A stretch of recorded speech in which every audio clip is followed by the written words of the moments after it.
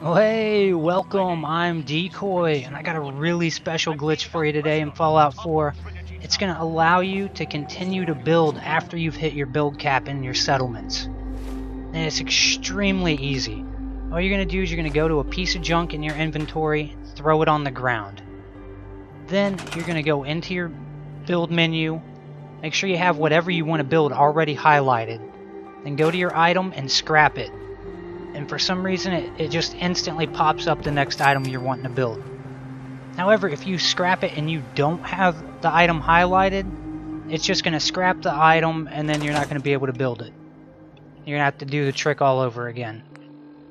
So again, you just go into your Pip-Boy, drop down some junk, and you're ready to start building and glitching your way to a better society, which I think is the key to victory in settlements. Now you can go and try to build those massive skyscrapers. Eventually I'm going to have to see what the sky cap limit is just for the fun of it.